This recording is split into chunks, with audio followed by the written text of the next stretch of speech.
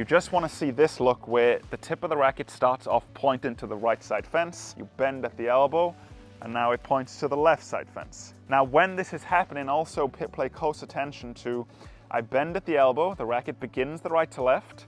As the racket now passes my head, my elbow leads, racket goes down and away. Did you know that almost all the serve power should come from the arm action? Then check out our free PDF, the link is in our bio.